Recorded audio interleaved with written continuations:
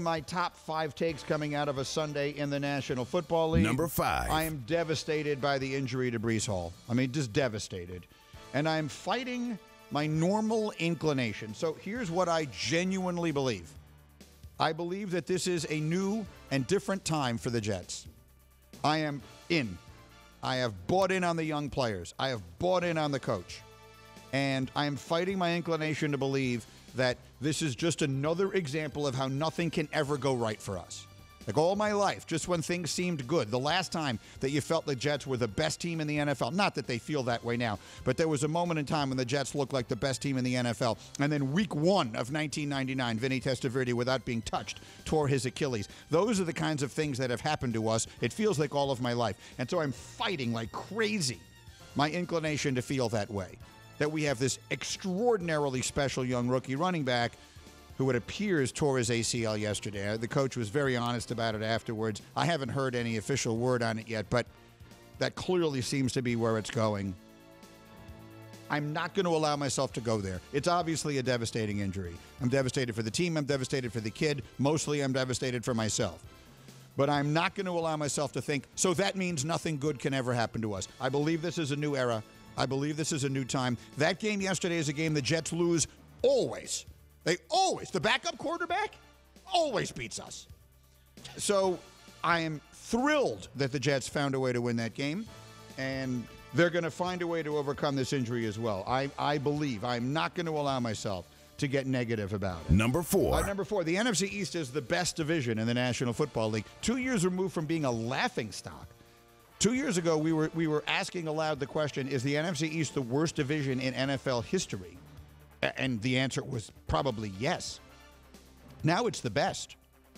So I'll say it again: the Eagles are right now probably, well, they're one of the two or three best teams in the NFL. I think I still think Buffalo is the best, but whatever. The Eagles are right there. The Giants are six and one. The Cowboys are five and two and looking very, very good. And if you took the worst, the last place team in every division and lined them up and had a tournament with them, the Washington Commanders would win.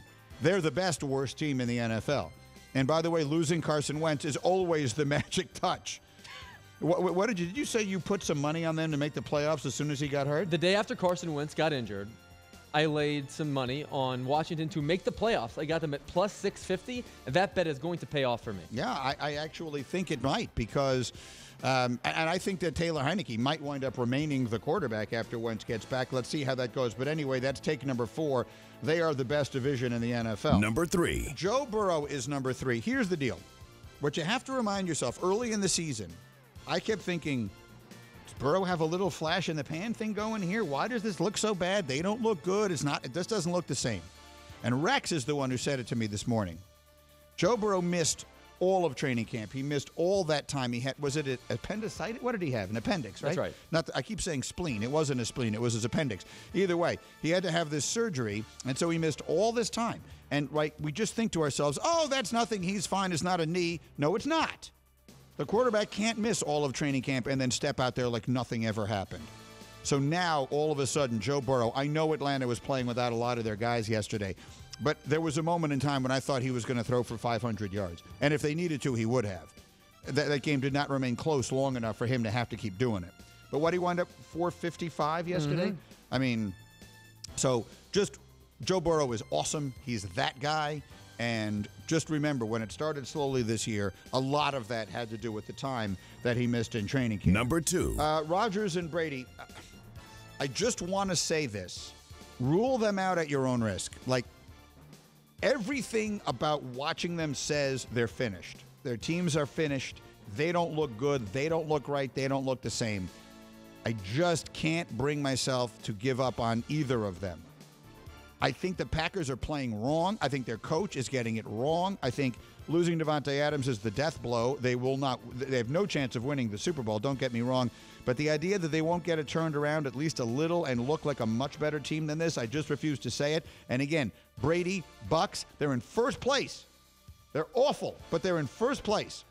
So they have the luxury of two and a half months to figure this thing out. So again, bet against Tom Brady to do that at your own risk. I know he doesn't look the same. I know whatever's going on in his life is obviously taking a toll on him. I see it all. I see what you see. But I will just one more time say Rule those guys out at this moment at your own risk. Number one. And then finally, number one, I'm going to lose the music on this because I want to get quick takes from the, the hashtag crew, particularly from Nuno. So, because the Jets were playing in the four o'clock window yesterday, um, the way I watch these games, I always have one game on and then red zone. And I yesterday, the game I, I decided I wanted to watch was the Giant game. I, I, have not sat down and just watched them from start to finish uh, much this season, and I just want to see what's going on there. And here's what I came away thinking, Nuno. Daniel Jones is good. You have no receivers. The Giants have no receivers. You talk about teams that have like like if the Giants had the receivers that Green Bay has, they'd be dangerous. He's throwing the ball to people whose names I've never heard in my entire life, and they're dropping it every time. I mean, the drops yesterday were infuriating, but he stands in there. He's making good plays. He runs the ball extraordinarily well. He's not making the big mistakes. Daniel Jones has turned into a pretty good player. Again, we have to temper our expectations. He's not Patrick Mahomes, but I think Daniel Jones is a pretty good quarterback, which is way better than what I think anyone thought of him a year ago. And he does feel like he is ascending. As a Giant fan, what are your thoughts?